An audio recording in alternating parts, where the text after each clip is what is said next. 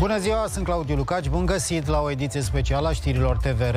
România traversează o criză sanitară care poate deveni gravă sau ținută sub control, în funcție de capacitatea autorităților de aplicare a măsurilor de prevenire și protecție împotriva răspândirii noului coronavirus.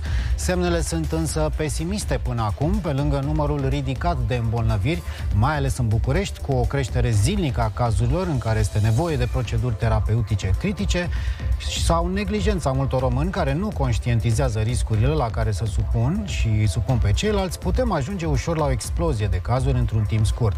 Nu suntem singura țară cu astfel de prognoze negative. Tot mai multe state europene se confruntă cu aceeași problemă, iar în unele cazuri s-a decis deja revenirea la carantina locală pentru întreruperea lanțului de transmitere comunitar.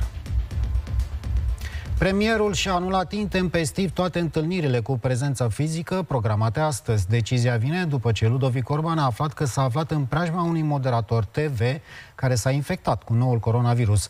Premierul a solicitat un test COVID, la fel ca și alți lideri PNL sau membri ai guvernului. Despre această situație neașteptată aflăm detalii de la Ramona Avramescu. Bun găsit, Ramona! Bună ziua, Claudiu, bună ziua tuturor! Uh, premierul a participat săptămâna trecută la o emisiune de televiziune în direct. Uh, ieri, uh, moderatorul acelei emisiuni a fost testat pozitiv cu noul coronavirus, astfel că premierul, care s-a aflat în același platou, a decis să facă și el testul și să-și suspende toate activitățile, așa cum spuneai. Astăzi, de exemplu, avea programată o întâlnire la Ministerul Fondurilor Europene, o altă acțiune împreună cu ministrul apărării și cu ministrul uh, economiei și o ședință cu conducerea Partidului Național Liberal.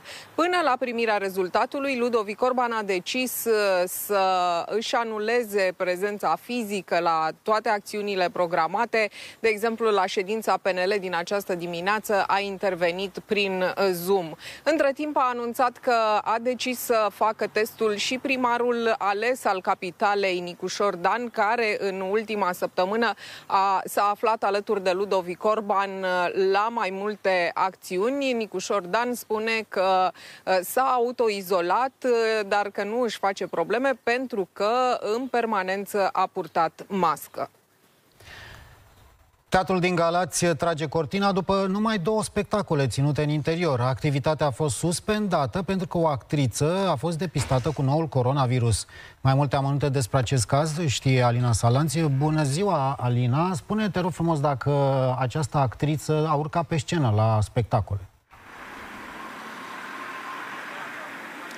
Da, bun găsit. I-a urcat pe scenă chiar uh, vineri, la primul spectacol, după ce Teatrul Dramatic a decis să reia reprezentațiile în interiorul instituției. Alături de ea s-au aflat alți trei colegi, iar în sală erau 40 de spectatori. A doua zi, actrița a început să se simtă rău, așa că a mers și și-a făcut uh, testul COVID, care, din păcate, a ieșit uh, pozitiv. Ea, în toată această perioadă, a intrat în contact direct cu alți 10 colegi care au decis să se autoizoleze la domiciliu și ea se află în acest moment în izolare izolare la domiciliu, se simte bine cu ușoare simptome. O firmă specializată va veni astăzi să facă dezinfecție în interiorul teatrului dramatic, iar uh, acesta și-a suspendat toate spectacolele pentru următoarele două săptămâni. Deocamdată acestea au fost informațiile de la Galați. La revedere! Președintele Donald Trump, diagnosticat cu COVID, ar putea fi externat chiar astăzi din spitalul militar, unde se află de trei zile, dar în stilul său caracteristic le-a făcut încă o surpriză americanilor. A ieșit la o scurtă plimbare în coloană oficială pentru a-și saluta susținătorii. Apoi s-a întors în izolare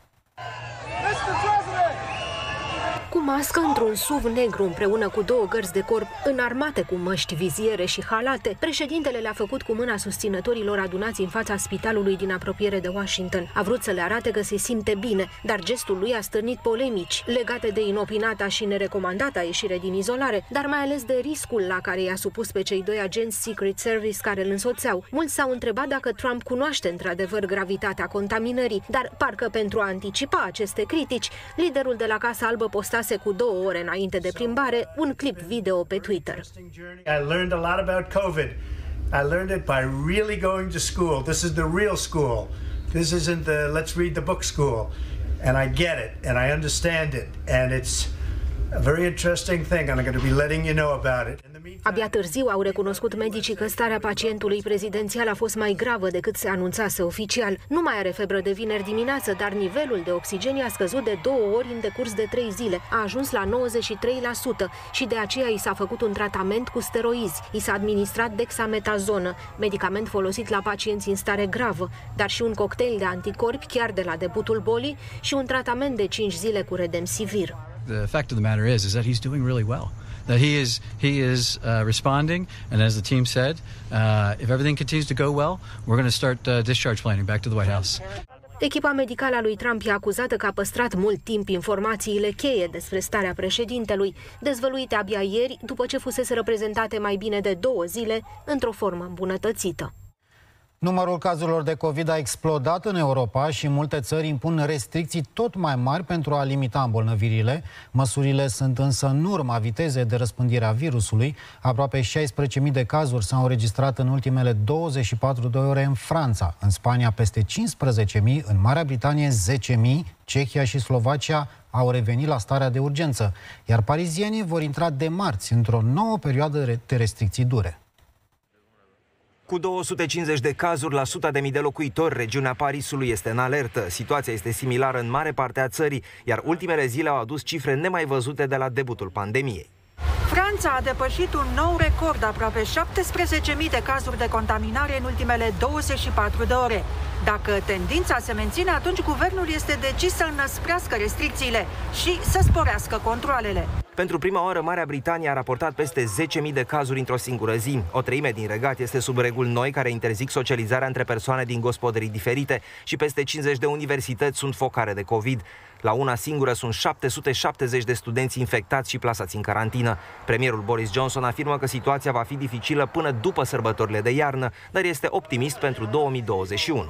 The scientists, they're all virtually unanimous that by the by the, by the spring things will be radically different and we'll be in a, we'll be in a, we'll be in a different world. Polonia a depășit 100 de mii de cazuri confirmate de la debutul pandemiei după ce a raportat peste 2000 de cazuri în ultimele 24 de ore, cifră record. Cele mai multe infectări sunt la Varșovia și în stațiunile de la Marea Baltică. Cehia și Slovacia au pus deja piciorul în prag și au revenit pentru 30 de zile la starea de urgență după mai multe bilanțuri record.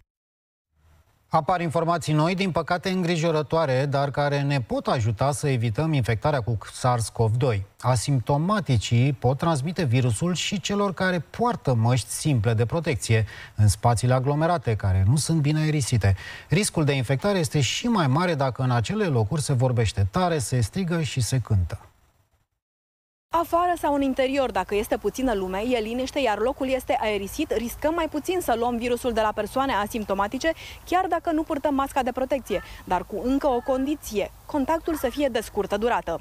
Altfel stau lucrurile însă în caz de aglomerație. Dacă este multă lume care strigă și cântă, crește riscul de a ne îmbolnăvi și în aer liber, cu tot cu mască și chiar dacă stăm puțin acolo, o arată ultimele informații de la Institutul Național de Sănătate Publică.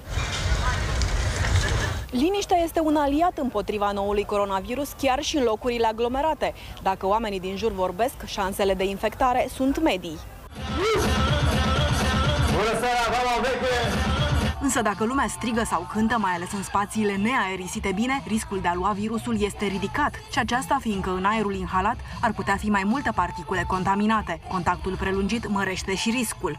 Dacă stai mult timp într-un spațiu închis, neaerisit, plin de oameni, ai șanse mari să iei temutul virus de la persoane asimptomatice, chiar dacă este liniște și porți corect masca de protecție.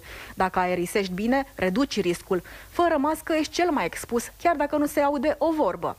Scenariile prezentate de Institutul Național de Sănătate Publică se referă la măștile simple, nu la cele profesionale de tip FFP2 sau 3. Specialiștii români au preluat și adaptat informațiile dintr-un studiu publicat în British Medical Journal. La nivel național, astăzi s-au suplimentat dozele de remdesivir. 200 dintre acestea au fost alocate spitalului Matei Balș din capitală, potrivit medicului Adrian Marinescu. Cât timp uh, au rămas fără acest medicament, medicii le-au obținut de la alte unități din țară. Explozia de cazuri a epuizat rapid stocul disponibil și în Iași, unde spitalele sunt pline cu pacienți cu SARS-CoV-2, s-a intervenit în ultimul moment. Ministrul Sănătății, Nelu Tătaru, spune că producția e limitată și în funcție de cantitatea care intră în țară se face și repartizarea, prioritar pentru cei din terapie intensivă. Fiecărui pacient trebuie să se administreze terapia timp de 5 zile. România va primi în total peste 25.000 de flacoane. Ediția specială se oprește aici. Raportarea zilnică a cazurilor va fi probabil la ora 14. Deocamdată sunt întârzieri. Eu vă urez o zi frumoasă în continuare alături de televiziunea română. La revedere!